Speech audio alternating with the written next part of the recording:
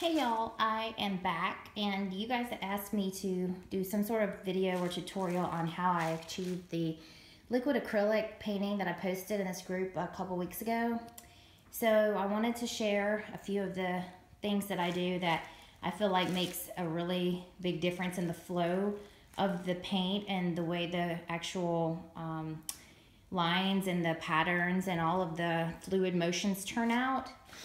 I use um, a pipette, which is this little thing right here, and you can get these at Hobby Lobby in the arts department.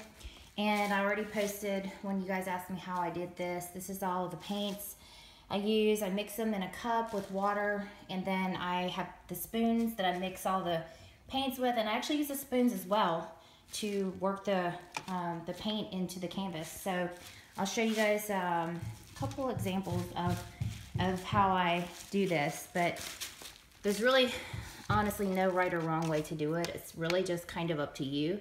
But like, I'll just take the spoon and just kind of um, put some paint there and just kind of drag it through and, you know, just add little things here and there wherever I think I might want some movement or motion in the painting.